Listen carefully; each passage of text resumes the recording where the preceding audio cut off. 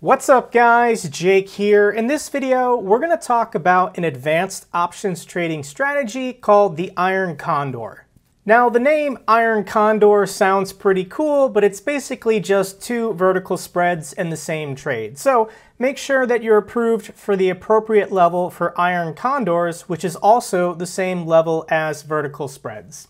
Now, to understand the Iron Condor and why you would want to do it, you definitely need to understand credit spreads. You're trying to make money from theta decay, from contracts wasting away as you get closer to the expiration date. So check out my options trading playlist. I go through lots of examples. So here is the profit and loss diagram chart, and generally I don't like these, but by the end of this video, I'm going to do an example and share with you all the information you need to know in order to understand this chart. So a quick recap of the four kinds of vertical spreads. There are two credit spreads and two debit spreads. And the two kinds of credit spreads are the bear call and the bull put. Your net's receiving a payment today. So the Iron Condor is just a bear call spread and a bull put credit spread on the same stock at the same time. Now, normally when you do a bear call credit spread, you think the share price of the company is going down. And when you do a bull put credit spread, you think the share price of the company is going up. However, what if you think the share price of the company is just going to trade sideways and stay within this convenient range?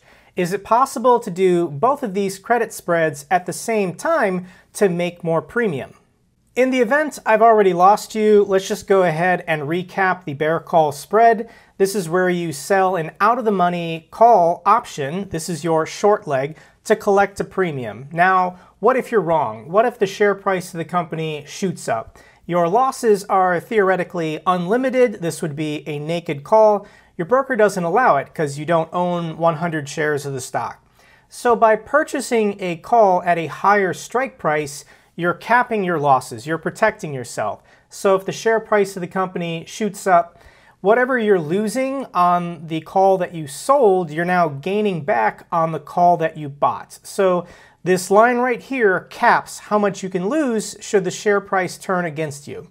So to make money on this credit spread, you just need the share price of the company to trade sideways, go slightly down, or go really down. However, what if you don't believe the share price of the company is going to go dramatically down? You think it's going to stay within this range. Well, what you're going to do now is you're going to combine a bear call spread with a bull put spread. You're going to sell a credit spread on both sides of the current share price of the stock. And by combining these two spreads together, congrats, you made the Iron Condor. Very fun. So let's go ahead and sell a put down here, and this put is currently out of the money.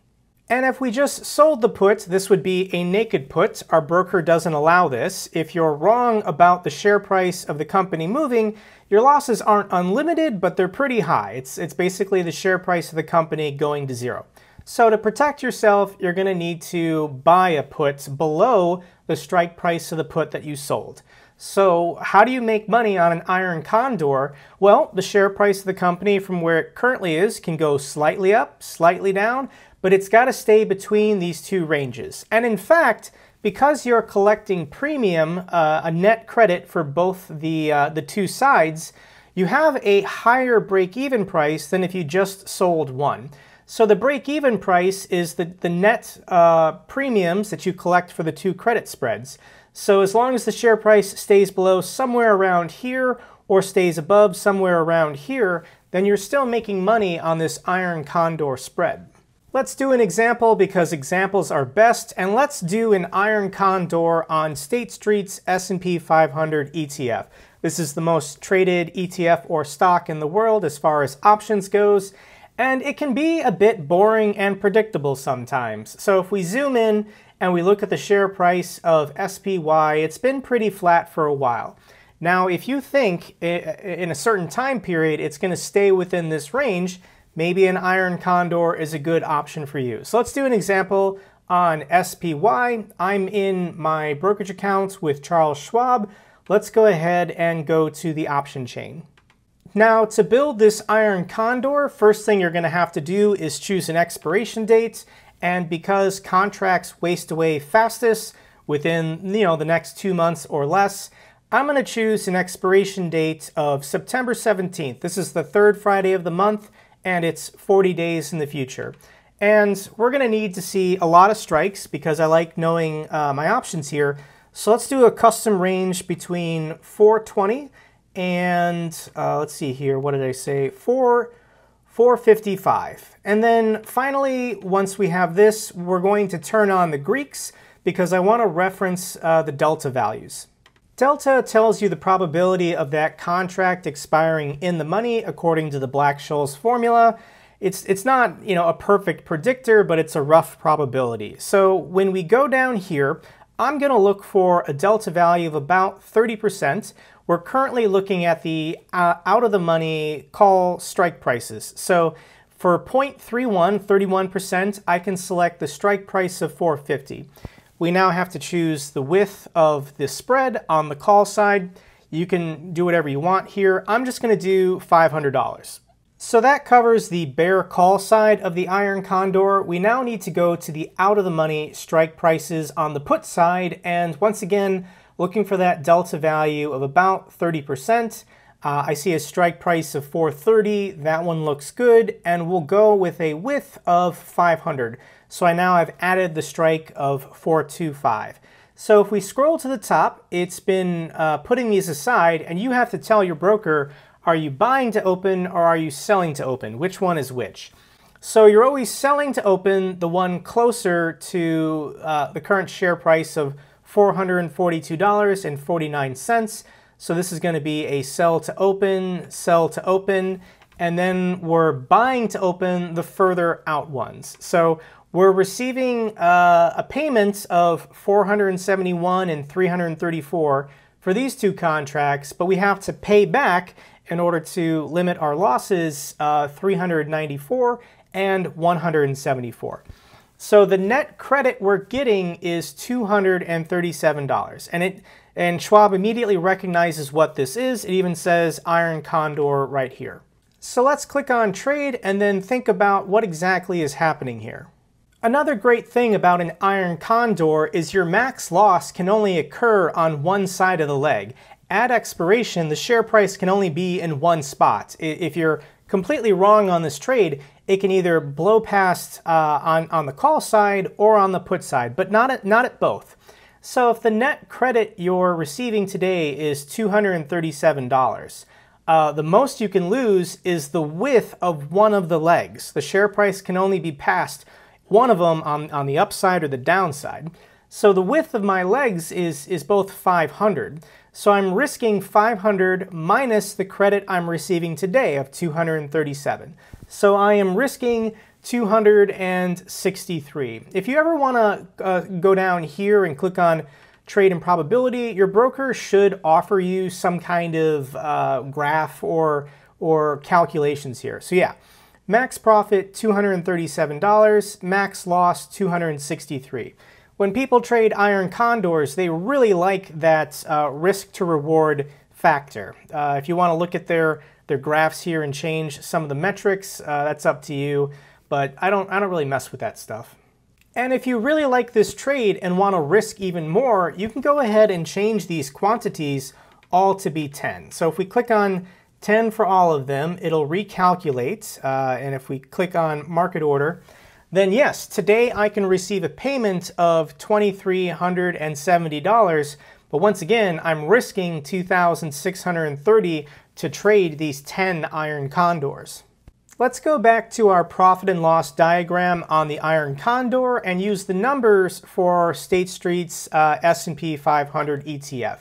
The current share price of the ETF is $442.49. We then had to sell to receive a, a credit.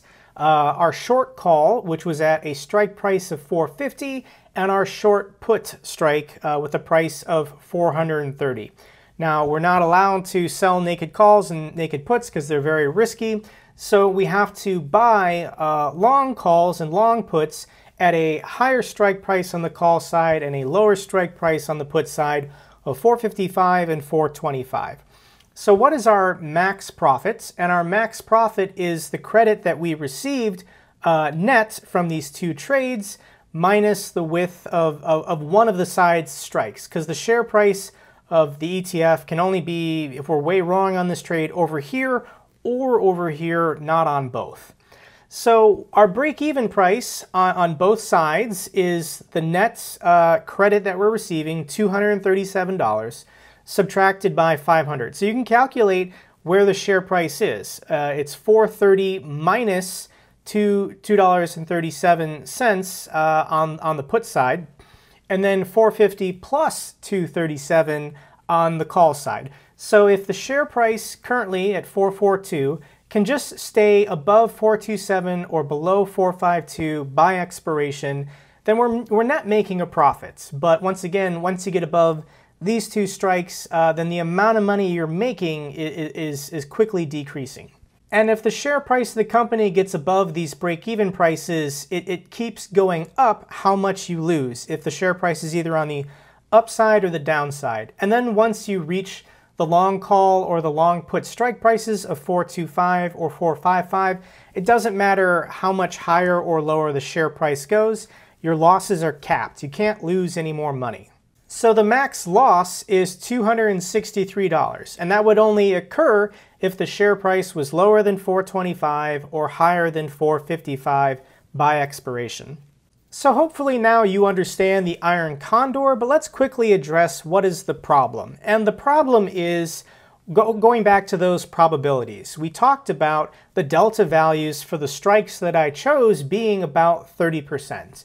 So according to the Black-Scholes formula, the probability of it being above 450 is 30, below 430 is 30. So add those two together, 30 and 30 is 60%. So a majority of the time, according to the probabilities, the share price of the ETF will be above 450 and will be uh, below 430.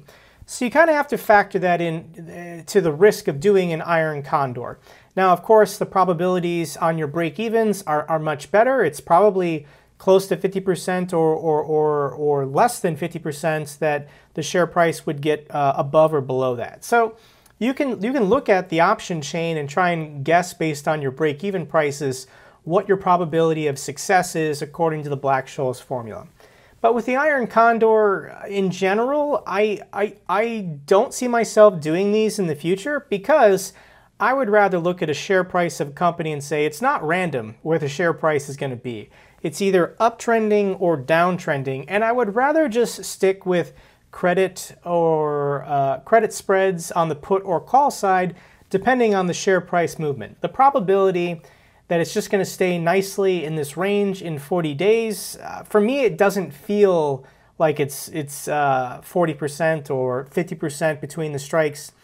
So for that reason, there's some people that really like doing iron condors on boring, predictable stocks, uh, but for me, not so much. Another idea, though, is that you don't have to be married to this entire position the entire time. If the share price of the company drifts up one way, uh, maybe you want to exit one leg or exit the other leg and then reopen it and, and move it for uh, a higher a higher strike on the put side or a lower strike on the call side, depending if it moves. You don't have to maintain the entire position all the way until expiration if uh, exiting one of the legs is, is advantageous to you.